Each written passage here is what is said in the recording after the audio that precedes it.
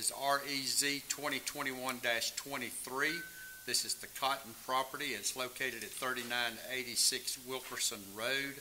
It involves five acres. It is currently EA, and the request is for RA, and it will have well and septic. Mr. Dillard?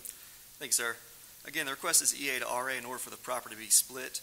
It is within a rural residential character area, and thus the RA zoning is appropriate.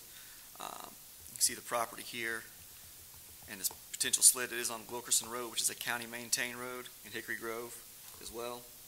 Um, it- The property is also surrounded by family land. You'll notice the Cotton name to the north, and then the south is Marvin Tullis, which is actually the uh, son-in-law of the property owner.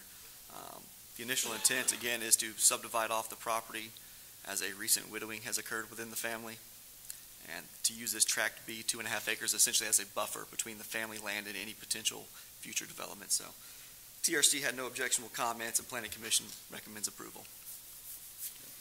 Any questions for Mr. Dillard? All right, hearing none,